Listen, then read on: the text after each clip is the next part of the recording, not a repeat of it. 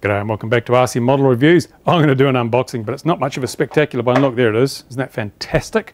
Um, this is something really interesting, actually. I'm going to show you what it is. Can you guess what it is? Well, you've probably seen the title of the video. That's probably a bit of a giveaway, but this is a piece of Borg eyewear. Well, you know, it's actually a video display for FPV, and it's kind of a clever little thing. It's the idea is that if you have uh, your glasses like so. See, the I bought these glasses specially and spared no amount of money in doing this review. Um, if you've got a set of glasses, you can stick this on this, bit like the Google Glass, you know, you put, put this on here. So it means you can see out your good eye or see out one eye whilst seeing the video from the camera in the other eye. And the reason that this is so useful is because in some countries, including the United States of America, there is a law that kind of says the pilot must have the aircraft in view, unaided line of sight at all times. And if you're flying FPV, well, you can't see the model because you've got goggles on your eyes.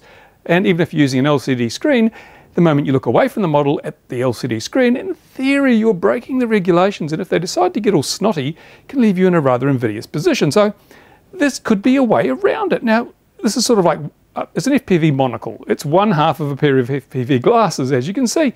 There's a lens, inside there is an LCD with a backlight, on the side we've got a little USB type connector which takes the video in and the power in. Comes with these little rubber frames, quite soft, and these have got little suction cups on them to stick onto your glasses. I can probably, oops, can I probably have to spit on it or something? No, actually they stick pretty good. See, that's kind of well stuck on there. Actually, it is. It's not going to come off very easily. Um, oh, there you go. Here it go. Pop when I pulled it off, perhaps. Um, so, yeah, what you do is you position this so to get the best field of view on your glasses, push it on. And if you don't have glasses, if you normally don't wear glasses, then get some of these. These are sunglasses for nighttime, I suppose, because they don't have a tint in the lens. They're just clear polycarb with a UV 400. Yeah, I bet $2 from the local um, $2 shop. I bet you they're really prop on oh, a $6. I got ripped. Look at that. $6 these cost me.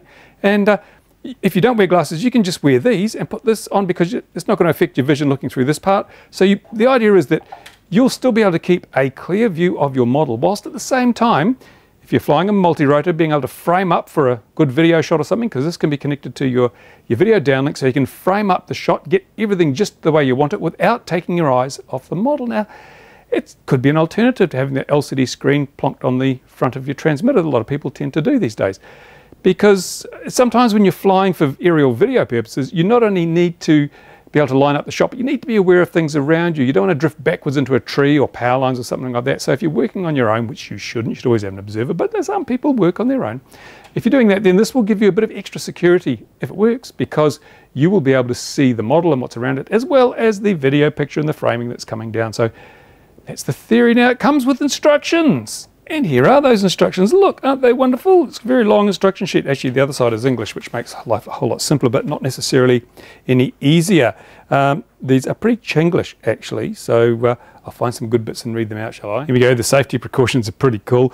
Operation as the manual instruction. Contact with authorized repairers when the products have trouble. Otherwise, the warranty will be delegalized.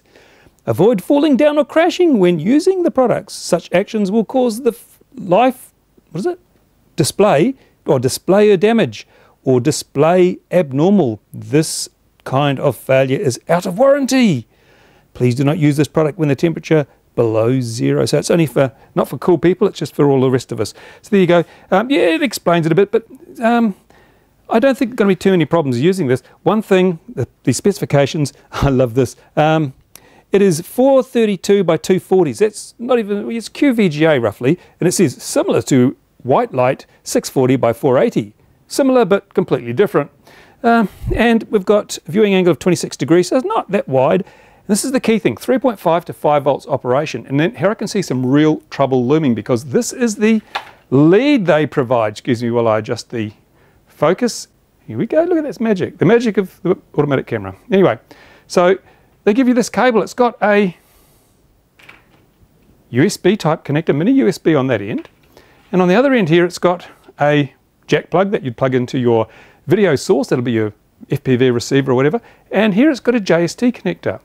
Now, there's no regulator in there. So if you plug a, even a two cell JST in here, all the magic smoke will come out of your rather expensive little view piece here. Um, so you're going to have to put a UBEC in here. You're going to have to cut this lead, make sure you put a UBEC in. Do not, do not use this without a UBEC or smoke will come out of this at a great rate and you'll have blown your, I think it's 60 or 70 bucks.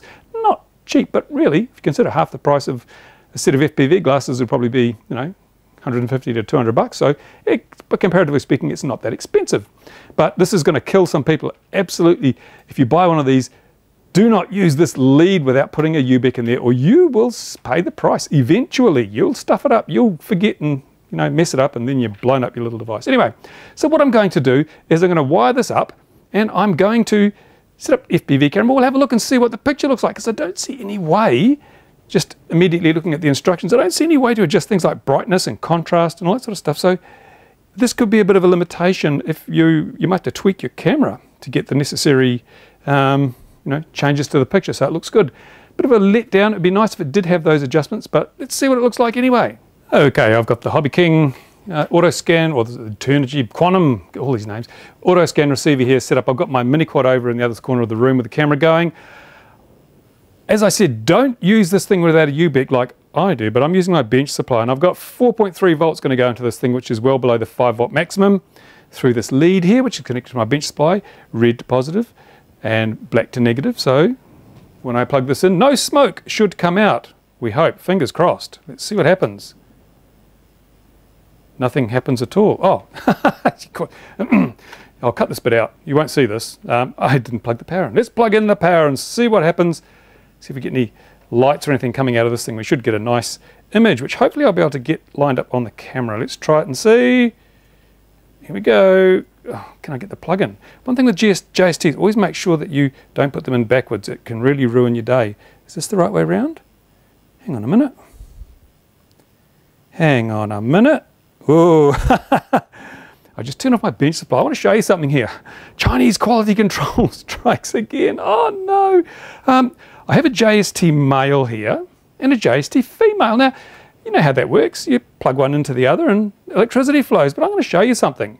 I'll just uh, have a look here. Hopefully you can see this. I might just zoom in a bit. Hang on. Here are the leads. As you can see, there's a there's a little divot in one. There's a little divot in there, and this is supposed to go in here. So you can see where that's got the little keyway on that side. So one would assume that this goes together. See how they fit there? And there's a bevel as well. These go together like this, right? So I'll plug these in like this. You're going to notice something when I take my hands away. Can you see them? See what's wrong here?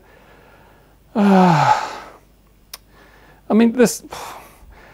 Um, if I'd plugged that in, the smoke would have come out because I'm pretty sure that they mean the red wire to be positive and the black wire to be negative. But the way this is done at the moment, um, I'd be putting reverse polarity into this thing now. Is it this that's wrong or is it that that's wrong? I don't know. I've got a battery here somewhere with, with a connector on it. So I'm going to have a look at, where are we? I've got some more JST leads. Where's another battery with a JST plug on it?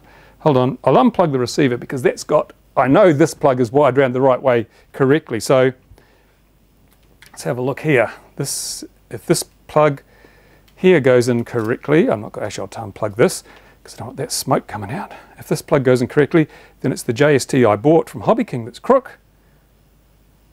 No, see that's, the battery's correct. It's this lead that came with the eyepiece that is wired incorrectly. Oh my goodness. Um, hmm. But I'm not going to just even rely on the color coding there because I just don't trust it. What I'm going to have to do now is actually check the pinouts on this. But even that's probably not going to be USB standard because it's not a standard USB connection. Oh, what do you do? What do you do when you get gear like this, which is obviously just waiting to be exploded? and uh, um, this is part one of the video. I'm going to have to go away now and strip this down and have a look. But I, this has turned into a really interesting video because I've shown you never assume anything what the hell's going on in here? Now see, these are joined. There's a, there's a splice in the wire here. Have they spliced this such that this the wire colors may be incorrect? Perhaps they have got negative on the red and positive on the black. I have to check all this before I can test this, or I'm just asking for a little fire on my bench and 60 bucks down the drain. Or having said that, um, Banggood sent this to me for review. They said, do you want to review something? I said, just I'd like to review that because I think it's got huge potential if it works as advertised. Obviously, at the moment, it would not work as advertised. I'm, i would be really risking the smoke coming out. So I'm going to go away and check that out. So that's part one of a video. I will, it's getting late in the day, I can't do this tonight, but I want to put this up because I want everyone to see. In case you're buying one of these, beware, beware. You could be buying some Chinese fireworks. So, yeah, there you go. Stay tuned. The part two will be coming up very shortly. Bye for now.